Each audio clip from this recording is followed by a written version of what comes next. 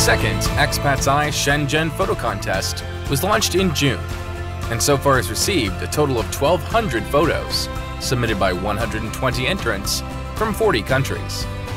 The contestants expressed their affection for Shenzhen by recording through their lenses the city's urban landscapes, folk customs, culture, sports and arts, the international communities, natural sceneries, and historical changes.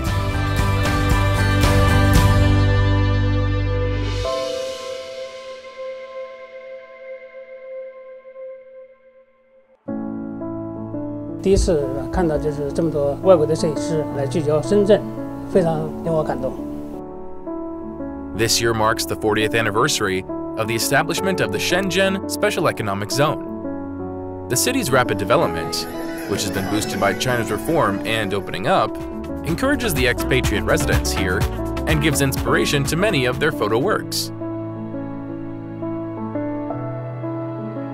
Humans thrive in Shenzhen. So does the wildlife. Many photographers in Shenzhen are keen on documenting with their cameras nature and park, woodlands, wetlands, and coastlines across the city.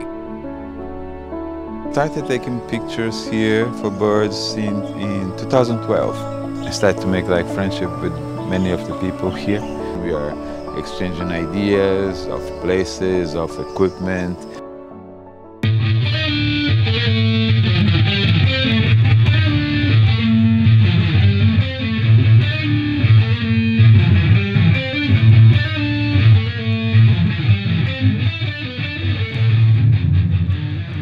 Isaac Cohen came to Shenzhen in 2016. He works as a science teacher at a local international school and is an enthusiast for nature photography, football, and rock music. I like going to different parks in Shenzhen to take some pictures of wildlife. I started doing that maybe since I arrived to Shenzhen uh, around four years ago.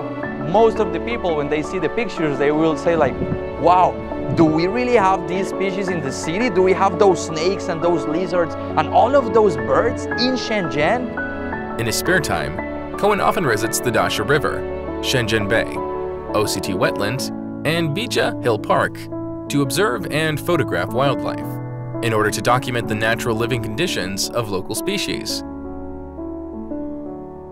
Yeah, so basically, uh, when we go to a park, we try to be unadverted by the animals, mm-hmm. right? So you try to use a camouflage so the birds won't think that you are threatening them. You don't have enough time to set your camera. Sometimes you don't get really, really nice pictures. Sometimes I will be happy just to spot the species, you know, like, oh, I saw the spoonbill and I have a picture of the spoonbill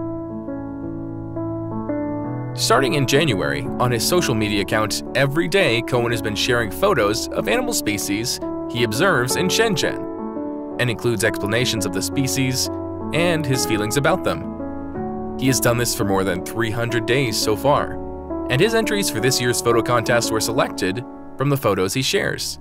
When I see the, the lizards is early in the morning, around 10 a.m.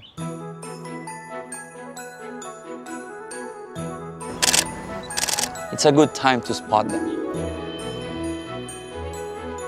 I feel is one of the most beautiful projects in the city.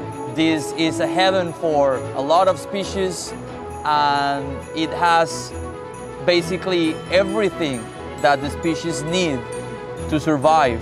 You can find here clean water, enough resources, different species of plants that will provide spaces for all of these species to live, to nest, to survive. It attracts several species of insects, butterflies, dragonflies, bees, everything to create a very complex network. Whether you are a well-equipped photographer or just an enthusiast who likes to take photos with your mobile phone, the contest will always open its door to you. If you are interested, please don't hesitate to join. I feel that it's a great opportunity and it's a great chance for the expat community to show their own point of view, the way we look at the city. So I think it's a very, very nice opportunity for the expat community to be able to show their point of view. I hope expats Eye Shenzhen Photo Contest will be bigger and better. Ie pan.